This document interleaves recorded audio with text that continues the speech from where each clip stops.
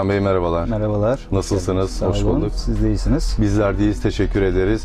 Ercan Bey, Gülen Elektrik olarak verilen hizmetlerinize ve tercih edilme sebeplerinize değineceğiz. Fakat öncesinde ben izleyicilerimize kısaca sizi tanıtmak istiyorum. Ercan Okluoğlu kimdir? Kaç yıldır sektörde hizmet vermektesiniz? Biraz kendinizden söz eder misiniz? Tabii. Ercan Okluoğlu 1981 İvrindi doğumlu. Hı hı. Yani memleketimiz burası. Evet. Meslek olarak da baba mesleğimiz. Ee, yaklaşık 2009 yılından beri kendi işletmemi çalıştırmaktayım. Evet.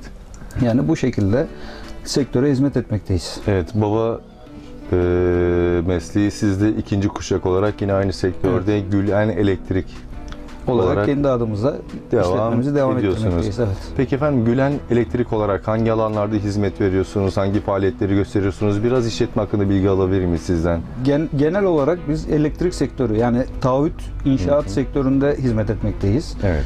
Ee, bu hizmetle beraber hani Edremit Körfezi olarak büyüyen bir inşaat sektörü var.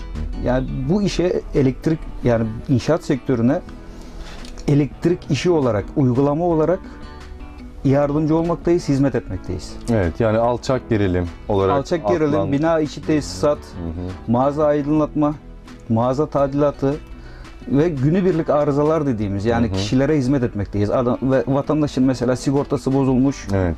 ona hemen anında hizmet etmekteyiz. Evet. Efendim lambası yanmıyor, karanlıkta kalmış buna bu şekilde yardım etmekteyiz. Evet yani elektrikle ilgili en ufak işlerden bir ampul değişiminden tutun. Evet. E, taahhüt, bina tesisatı Tesisatına çekimi, kadar, alçak gerilimle alakalı bütün elektrik hizmetlerini sunuyorsunuz. Bunun Evet. yanında tabii ki mağazanızda da yine elektrikle alakalı yan ürünlerinde satışı yine burada mevcut. evet, evet. Peki efendim çok riskli bir sektörde hizmet veriyorsunuz. Elektrik şakaya gelmeyecek bir sektör. Hizmeti sunarken dikkat etmiş olduğunuz kriterler nelerdir? Yani neleri göz önünde bulunduruyorsunuz? Şimdi bizim önceliğimiz, önceliğimiz yani yanımızda çalışan kişi sayısı olarak söyleyeyim. Önceliğimiz tamamen iş güvenliğine dayalı. Kesinlikle evet. Bizim işimiz bir gün sonra olsun. Kesinlikle hiç önemli değil. Yani yapılan iş mutlaka biter. Evet. Biz bitiremezsek bir kişi veya birileri mutlaka gelip bu işi bitirir. Evet. Bunun için önceliğimiz iş güvenliği. Önce kendi güvenliğimizi sağlayacağız. Kendi sağlamı kendimizi sağlama alacağız. Evet. Ondan sonra da gerekli olan çalışmayı yapacağız. Evet. Peki e, ayrıcalıklarınızdan söz edersek, şimdi sektörünüz çok geniş bir sektör ve siz de bunun içinde yalnız değilsiniz. Yani elektrik olarak birçok işletme varken bu hizmeti veren neden özellikle Gülen Elektrik tercih edilmeli? Şimdi öncelikle bizim işlerimizde yani e, geriden gelen eleman çok büyük sıkıntı şu an.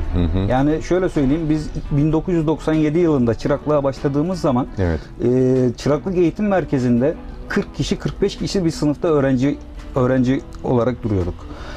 Bu 40-45 kişi şu an 5 kişiye dü- düşmüş durumda. Çıraklık eğitim merkezleri boş. Yani yetişen mesleki olarak yetişen ekip yok. Evet. Yani biz bu işi son yapanlardanız gibi. Yani hizmet olarak Alttan geriden gelenler bir evet bayağı zayıf durumda. Kişi yetişmiyor. Ee, bunun için biz istihdam sağlamaya çalışıyoruz. Özellikle yazın mesela öğrenciler geliyor diyorlar ki Evet. hani biz yardımcı olalım, çalışalım, hani para kazanalım modunda. Bizim çıraklık yaptığımız zaman para mesela ikinci plandaydı. Evet. Öncelikle meslek öğrenmekti Evet. sizin için. Kesinlikle öyle. Ben mesela hani askere gidinceye kadar haftalığım ne kadardı bilmiyordum mesela. Evet. Ama şimdi öncelik para. Gelen eleman önce parayı soruyor. Tamam para eyvallah ama e, iş öğrenme yönünden de biz bunu sağlamaya çalışıyoruz. Diyoruz ki yani tamam sana şu parayı verelim. Evet. Gel bu işi öğren. Evet. Yani o zaman ektiğinizi şimdi biçiyorsunuz diyebiliriz. Yani Evet, siz para öyle. gözetmeksizin çırak olarak yetiştiniz. Aynen Burada öyle. sizin birinci amacınız mesleği öğrenmekti. Para ikinci Kesin- plandaydı. kesinlikle öyle. Şimdi mesleği öğrenmiş oldunuz, başarılısınız da bu işte Evet. ve para da başarının elbette ki peşinden kesinlikle ve kesinlikle geliyor. Kesinlikle geliyor. Yani, Yani meyve, burada- meyvasını mutlaka zamanlı gel, geldiğinde topluyorsunuz. Evet yani burada amaç aslında evet bir işletme için öncelik para kazanmak ama Evet. burada para kazanmak ikinci planında. Evet, bizim- Siz başarılı olduğunuz zaman hangi meslekte olursanız, hangi sektörde olursanız olun, başarılı olduğunuz zaman zaten para o başarının Kesinlikle peşinden de geliyor. geliyor. Evet, kesinlikle öyle. Yani bizim önceliğimiz para değildir. Evet. Biz bu işi öğrenirken, mesleğe soyunurken, bu işi yapacağız derken Evet. ve şu her şeyden önemlisi e, bu işte yani her işte severek yapmak çok önemli. Evet. Yani işinizi severseniz mutlaka meyvasını topluyorsunuz. Kesinlikle başarılı olmama gibi bir şansınız yok. Kesinlikle yok. Ercan Bey ben vermiş olduğunuz bilgilerden dolayı çok teşekkür ediyorum sizlere. Ben size teşekkür ediyorum. Hizmetlerinizin ve başarılarınızın devamını diliyoruz. Teşekkür ediyorum. Çok olun. sağ olun.